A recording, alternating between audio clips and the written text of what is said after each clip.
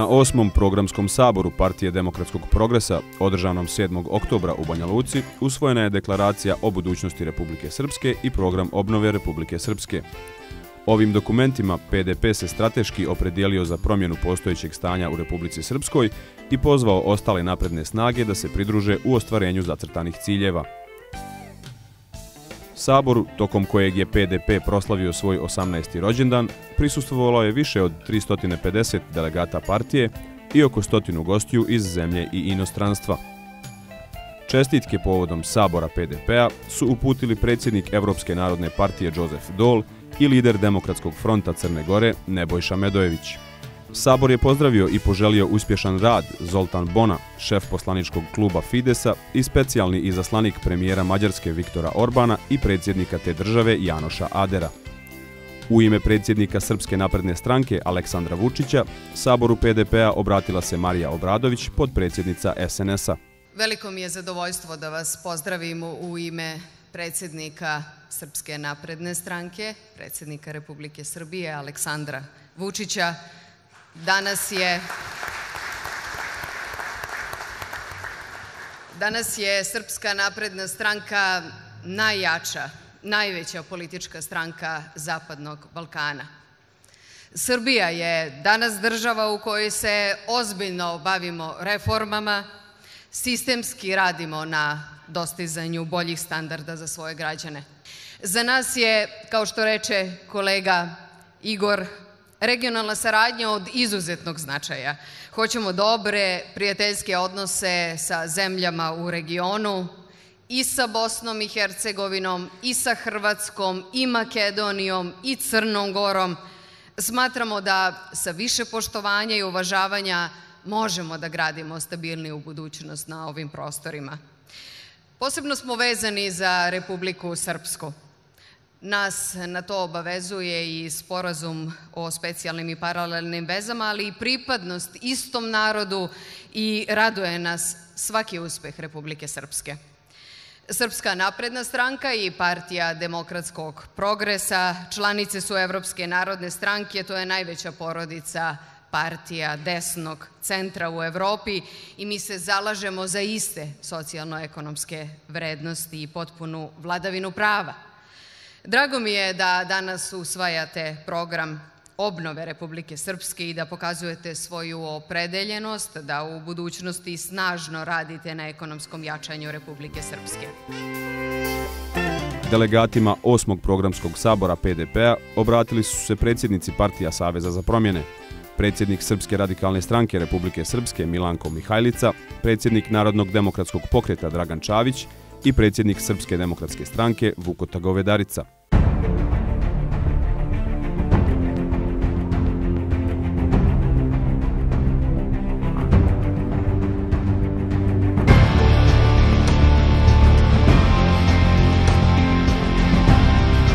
Danas slavimo 18. rođendan.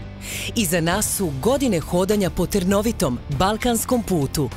Prošli smo sve, od van parlamentarne opozicije preko vlasti i opozicije u Republici Srpskoj do opozicije i vlasti na nivou BiH.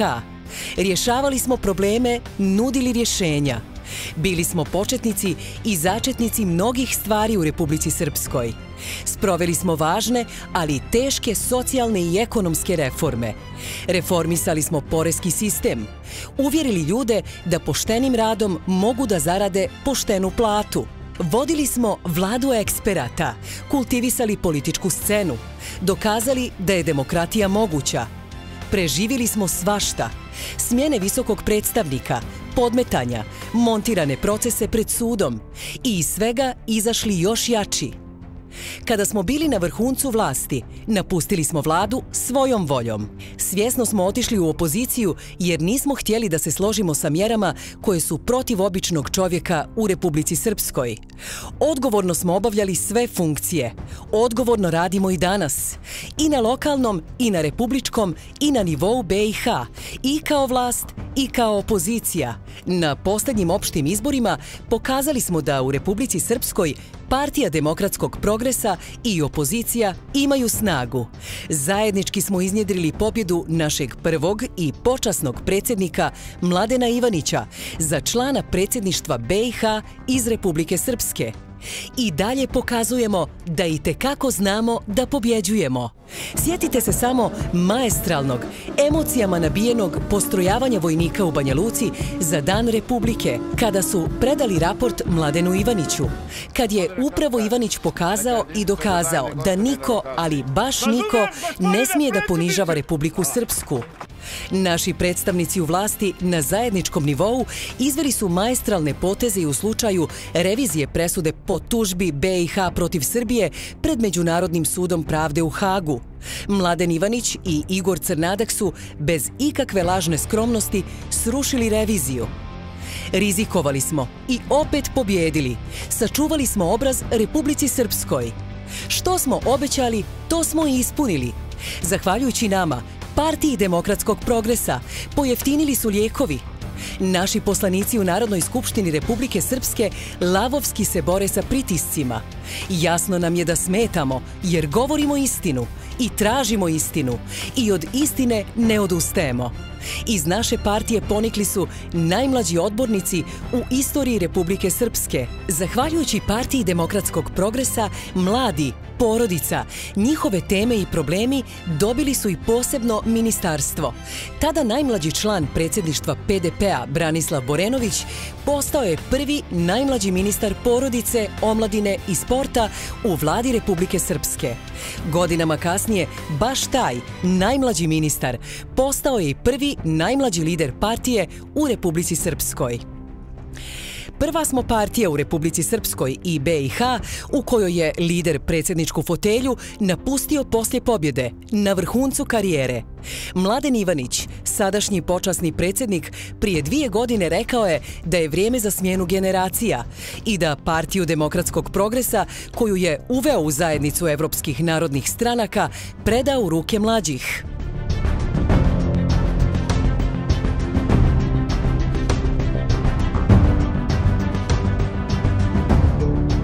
U mnogim stvarima smo bili prvi, a u nekim i jedini.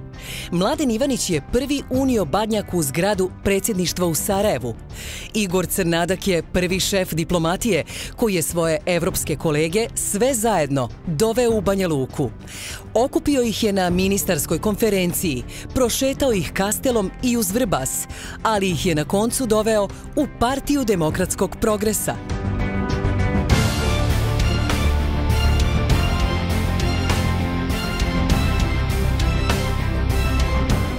Branislav Borenović je jedini stranački lider iz Republike Srpske, ali i BiH, koji se prije desetak dana na njen poziv sastao sa njemačkom kancelarkom Angelom Merkel. Poslije toga Merkelova je ponovo pobjedila. Branislav Borenović je jedini lider koji je na poziv Donalda Trumpa prošle godine prisustvovao završnom skupu u Americi. Poslije toga i Trump je pobjedio. I mi smo spremni za nove pobjede. Domaća, a evropska. A ako hoćete i svjetska. Partija demokratskog progresa dio je najvećih evropskih i međunarodnih partijskih asocijacija. Možda nismo velika partija, ali smo partija bez koje se ne može. Prošli smo mnogo, ali ipak sa sigurnošću možemo da kažemo da je budućnost i naša i Republike Srpske tek pred nama za promjenu, za mirnu budućnost, da sačuvamo život u Republici Srpskoj. Živjela Partija demokratskog progresa, živjela Republika Srpska.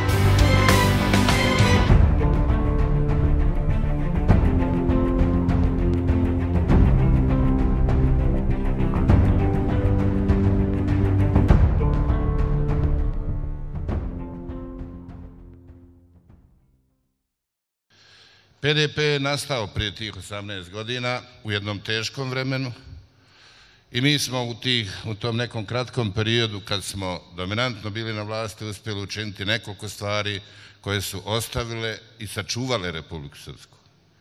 Mi smo obezbijedili njenu ekonomsku samostalnost. Bez naših reformi ne bi bilo ovoga što imamo danas stabilnog ekonomskog prostora. Mi smo uspjeli da u jednom periodu četiri godine vratimo i sve one silne plate koje nisu bile isplaćene i penzije i da po prvi put dođemo u situaciju da Republika Srpska manje zadužuje nego što vraća kredita. Sve je to pomalo već i zaboravljeno. Predali smo Republiku Srpsku novim strukturama vlasti sa mnogo više zaposlenih nego što ih danas ima. Izdržali neviđeni pritisak međunarodnih institucija koji u to doba bio usmjeren protiv Republike Srpske. Taj pritisak je bio prije svega izložen na nas i jednog dana kad to malo prođe, kad budemo pričali kako su neki od tih ljudi, šta su radili, mnogi će biti iznenađeni. Jedan dio tih struktura je zaista činio sve da uruši u potpunosti institucije Republike Srpske, mi smo to izdržali. Republika Srpska je prošla taj period, a prije svega mi, i moram biti iskren tada, u tom jednom periodu SDS, koji je također bio izložen neviđenim, neviđenim pritiscima. I sam sam lično imao neviđene pritiske, iako sam uvijek bio tumačen kao čovjek koji je okrenut međunarodnim institucijama, svijetu, modernom razvoju, do nekih koje su, koje su bile iznenađujuće i lične i teške. Sve je to prošlo. Partija je to izdržala, Republika Srpska je izdržala i mi se sada nalazimo u jednom trenutku koji je ponovo veliki izazov. U ovom periodu smo uspjeli da uradimo nekoliko stvari, to prije svega sad hoću da kažem u Republici Srpskoj. Republika Srpska trenutno nije pod međunarodnim pritiscima, uvijek nekih izazova ima, ali ustavno uređenje Bosne i Hercegovine nije na dnevnom redu. Nama je sada da sa svakom novom godinom čuvamo vlastite institucije, da ih jačamo, jer kao kad napravite kuću pa bacite u one temelje zemlju, sa svakom godinom ona liježe, postane sve čvršća, sve jača, stabilnija i takva i treba da bude Republika Srpska. Republika Srpska ima sve elemente da snažno ojača svoju poziciju i da iz te faze, kada na nju vrše neviđeni pritisak, pređe u fazu da ona bude ta koja će se pozitivno tretirati u Bosni i Hercegovini. Jer mi to možemo. Naši uslovi su takvi da mi to možemo. Zapamte što vam kažem, vidjet ćete da će narednih 5 do 10 godina ključni problem Bosne i Hercegovine biti odnos između bošnjačkog i hrvatskog naroda i da taj lažni sklad koji je svoje vremeno građen će opterećivati Bosnu i Hercegovinu. Mudra Republika Srpska treba u tim uslovima ne nekome da pomaže ili odmaže. To je problem koji oni sami moraju riješiti, jer su ga i oni svoje vremeno sami napravili svoje voljom. Mudra Republika Srpska u tim uslovima treba da vodi računa o sebi, da u miru, bez političkih tenzija, razvija sebe.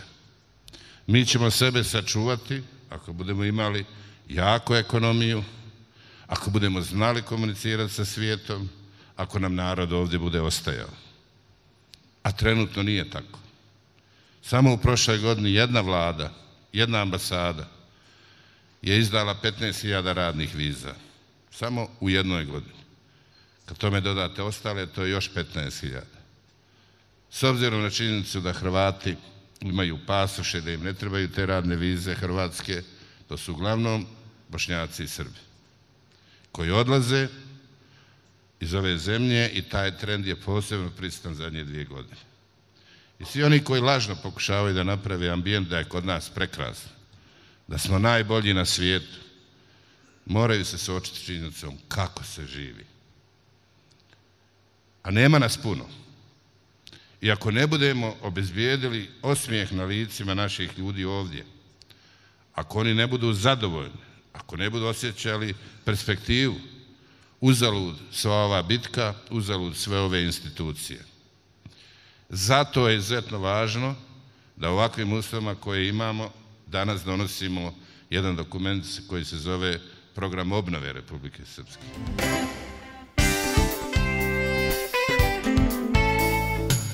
Mi, delegati osmog sabora Partije demokratskog progresa, jedinstveno, jasno, čvrsto i bez kompromisa javno iskazujemo naše stavove i čvrsta opredjeljenja za promjenu postojećeg stanja, obnovu i održivu budućnost Republike Srpske.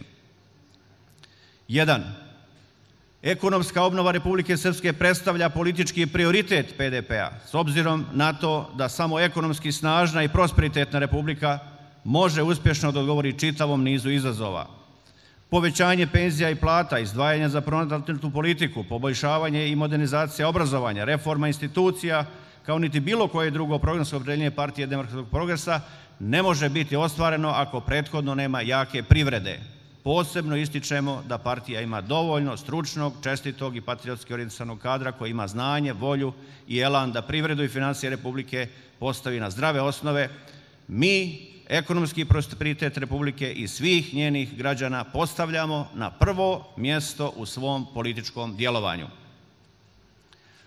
Po dva, demografska obnova Republike jeste naš osnovni nacionalni i politički zadatak. Ključno opredjeljenje partije jeste ponuditi odgovore na najveći izazov sa kojim se danas suočavamo i obezbijediti da Republika ne ostane bez svog najvažnijeg resursa, a to su ljudi. Kao jedno od svojih osnovnih opredjeljenja i imperativ svog budućeg djelovanja utvrdit ćemo mjere kojima ćemo obezbijediti trajni opstanak i ostanak naroda na ovim prostorima. Cilj je ostvariti takav društveni ambijent da ljudi u Republici Srpskoj žele da ostanu, rade, razvijaju svoje potencijale, grade porodice i podižu buduća pokoljenja.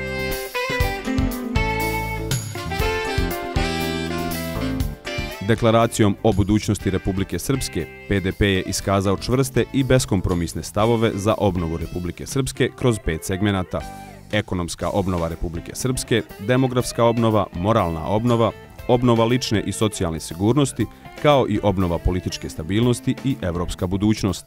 Kada je riječ o ekonomskoj obnovi, PDP definiše nekoliko srednjoročnih ciljeva, a to su stabilne stope rasta bruto domaćeg proizvoda od 5% i više na godišnjem nivou, dinamičnija je olakšana privredna aktivnost, stabilne javne financije i stabilne financije javnih preduzeća, reformisano tržište rada i efikasnije obrazovanje u cilju značajnog povećanja broja zaposlenih na 350.000 radnika, stabilnost finansijskog sektora i njegova veća podrška ekonomskom razvoju i u konačnici rast plata i penzija gdje je cilj da sistemskim rješenjima dostignemo iznos prosječne plate od preko 1000 i prosječne penzije od preko 500 konvertibilnih maraka.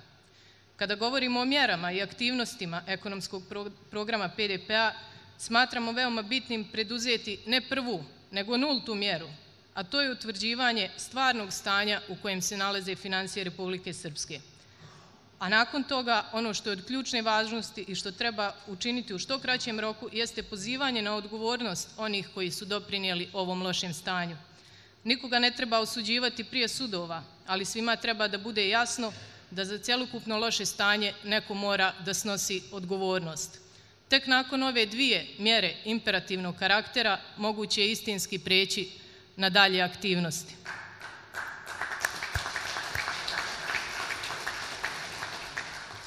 Prva od mjera koje je neophodno sprovesti jeste fiskalna konsolidacija, a to podrazumijeva racionalizaciju plata i naknada svih zaposlenih u javnom sektoru, punu transparentnost u trošenju javnih sredstava, restrukturisanje broja radnih mjesta u javnom sektoru, veću i snažniju fiskalnu disciplinu.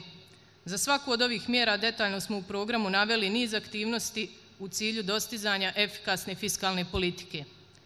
Ono što je ključ kada je riječ o javnim financijama Republike jeste neophodnost rješavanja dužničke krize Republike Srpske i to kroz reprogram duga. Cilj je smanjiti godišnju ratu kredita na 400 miliona sa sadašnjih skoro milijardu maraka koje godišnje izdvajamo samo za otplatu duga. Od izuzetne važnosti kada je riječ o ekonomskoj obnovi smatramo sprovođenje mjera u cilju smanjenja opterećenja privredi. Prije svega podrazumijevamo smanjenje poreskog klina, odnosno dijela bruto plate koji ubire država, ukidanje brojnih neporeskih nameta te ubrzavanje procesa dobijanja građevinskih dozvola i niz drugih mjera navedenih u samom programu koji imaju za cilj poboljšanje poslovnog ambijenta.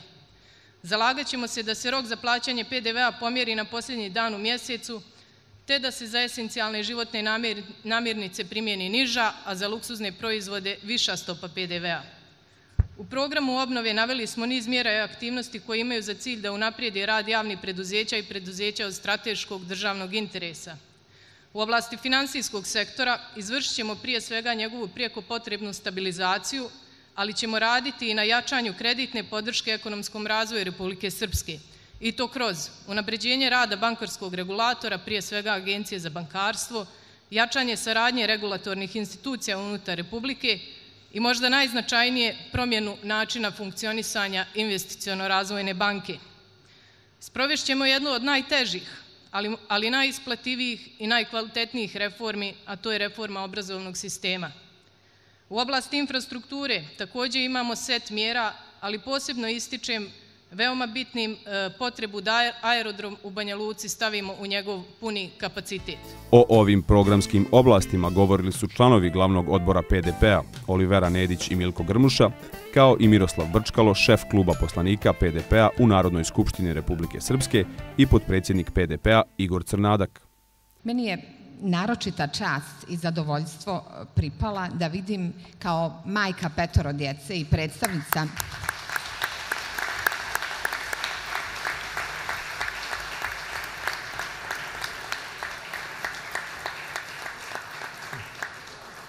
i predstavnica udruženja porodica sa četvoro i više djece, da vidimo ono na čemu smo mi radili deceniju kao strateški dio i jedan od osnovnih orijentacija programske, programskih orijentacija Partije demokratskog progresa.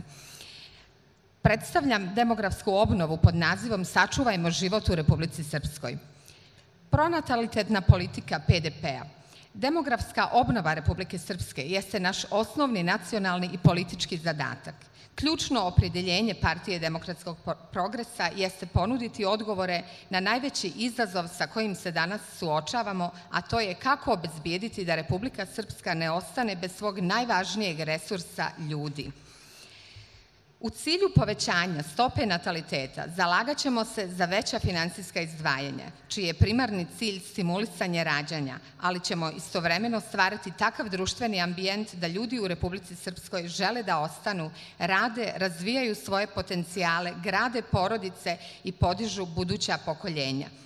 Osnovni politički, nacionalni i državnički zadatak danas jeste obezbijediti da Republika Srpska ne ostane bez stanovništva u budućnosti onog trenutka kada ljudi budu ostajali na ovim prostorima, kad institucije Republike budu pokazale da im je primarni interes da obezbijede normalne uslove za egzistenciju svojih građana, tad ćemo znati da ponovo imamo jednu ozbiljnu i odgovornu politiku. Prije 18 godina, mislim, sada se nešto računam, ja sam upisao prvi razred Banja Lučke gimnazije.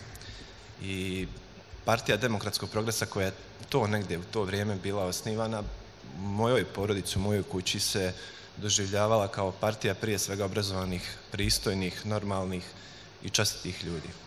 I vjerujte mi, ne mogu da ne kažem da ne osjećam izuzetno uzbuđenje pa i tremu što pred ovakvim skupom, pred ovakvim ljudima koji su stvarali takve akademske reference, ja danas imam priliku i čast da govorim o vrijednostnoj, obrazovnoj i kulturnoj obnovi.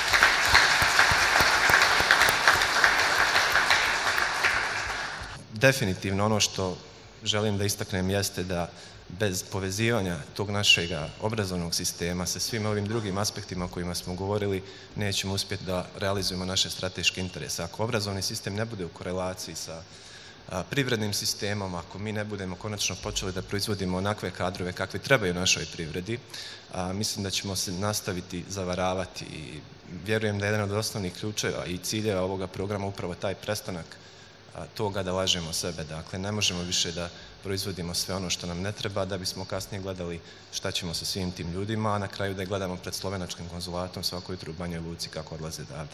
Apsolutno ćemo nastaviti da u svom parlamentarnom radu Narodnoj skupštini Republike Srpske protivimo nametanju zakonskih rješenja mimo predviđenih procedura i protivno u običajnoj parlamentarnoj praksi. Ostajemo najdosljedniji protivnici pretvaranja parlamenta u slijepog izvršioca volje izvršne vlasti. Narodna skupština je legitimni reprezent suverene volje građana Republike Srpske i njeni zakoni kao najviši pravni akti od Ustava Republike Srpske moraju biti istinsko ogledalo tog suvereniteta. Nastavit ćemo i sa borbom protiv kriminala i korupcije. Partija koja je konkretno radila na proteklom, proteklom periodu jeste upravo PDP, gdje smo podijelili na desetine krivičnih prijava i sračunali da je budžet Republike Srpske oštećen za 3 milijarde konvertibilnih maraka u proteklom periodu, a onda smo i slikovito objasnili da se zato moglo napraviti 200 najsavremenijih vrtića, isplatiti toliko penzija ili materinskih dodataka za majke koje imaju troje i više djece. I na kraju, ne manje važna stvar jeste da bi mogli biti realizovani političko-programski ciljevi PDP-a koji se tiču naših prioriteta u vezi vladavine prava, nove vizije Republike Srpske i njene modernizacije, kao i snažnog privrednog infrastrukturnog razvoja, a sve u cilju osjetnog i kontinuiranog rasta životnog standarda naših građana, jedan od neophodnih uslova jeste i modernizacija javne uprave. Nemoguće je ući u 21. vijek sa navikama činovnika iz 19. vijeka. U tom cilju mi ćemo se, mi ćemo se truditi da nametnemo načela zakonitosti, efikasnosti, transparentnosti, fokusiranosti na privredu i e-upravu. Zahvaljujem.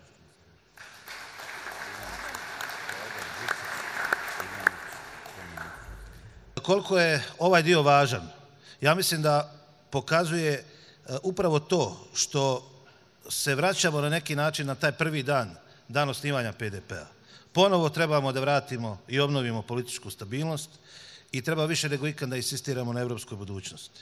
A mi kada smo se pojavili na sceni, sjećate se da je to bilo u vrijeme ogromnih svađa, dva bloka, skoro do krvoprolića je bilo dovedeno i tada je trebalo prvo da se obnovi politička stabilnost. Danas isto to radimo, samo što je političku stabilnost ovaj put od naroda Republike Srpske oduzeo režim i zato je to na visokom, visokom mjestu naših prioriteta.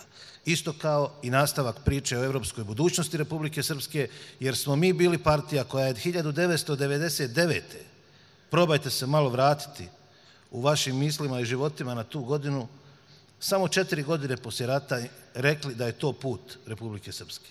I zato mislim da je vrlo važno što smo na ovakav način koncipirali ovaj dio našeg programa obnove.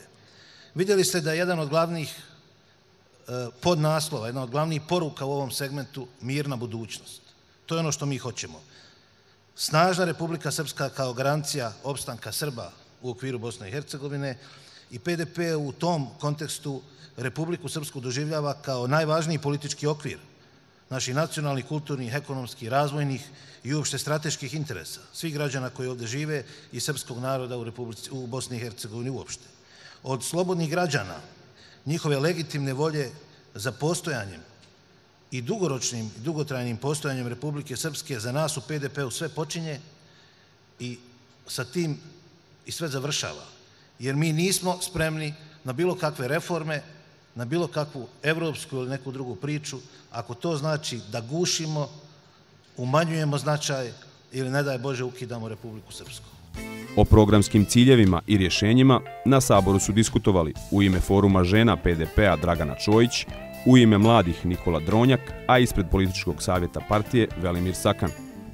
U ime lokalnih zajednica, ispred opštinskog odbora PDP-a Mrkonjić grad, Na saboru je govorio odbornik iz te opštine Borislav Đurić i gradonačelnik Istočnog Sarajeva Nenad Vuković. Programom obnove Republike Srpske ponuđena su konkretna rješenja za promjenu neodrživog stanja u Republici Srpskoj i lošeg smjera u kojem građane vodi aktuelna vlast. Partija demokratskog progresa je danas donijela odluku. Snažnu, beskompromisnu i neophodnu za Republiku Srpsku – Mi smo danas usvojili program obnove Republike Srpske i stratešku deklaraciju o budućnosti Republike naše Srpske.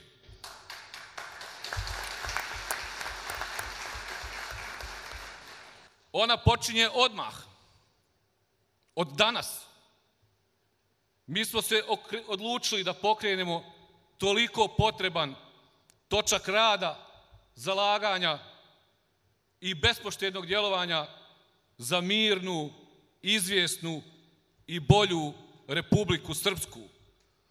Ekonomska obnova je prioritetno programsko načelo PDP-a, u kojem stručni i čestiti ljudi sa znanjem, voljom i energijom dobijaju istorijsku šansu bez prava na popravni, da Republiku izvuku iz ekonomskog sunovrata. Naš cilj je ambiciozan, ali ostvariv. Da Republika Srpska do 2025. dostigne broj od 350.000 zaposlenih. Uz predvidljive i stabilne stope rasta bruto domaćeg proizvoda od preko 5% godišnje, stabilne financije, olakšanu privrednu aktivnost i maksimalnu iskorištenost ključnih resursa, što podrazumijeva koncept pozicija ili funkcija nije privilegija, već odgovornost i odricanje, dragi moji prijatelji. Naš ključni mehanizam vođenja Republike je puna valorizacija, finansijsko vrednovanje rada javnih preduzeća, regulatora i svih institucija u vlasništvu naroda Republike Srpske. Znamo kako. Mjerili smo sto puta. To nas je Mladen zaista naučio, a vi to dobro znate, da je uvijek govorio dobro provjerite prije nego donesete odluku. I sigurni smo da restrukturiranjem kreditnih zaduženja i smanjenjem rata kredita u budžetu Republike Srpske oslobađamo godišnje pola milijarde budžetskih sredstava, prvenstveno za privredu, za nova radna mjesta i realni sektor, kao i za dodatno finansiranje budžetskih potreba prema penzionerima, poljoprivrednicima, obrazovanju, zdravstvu, borcima, socijalnim kategorijama, ali i za sport i za kulturu.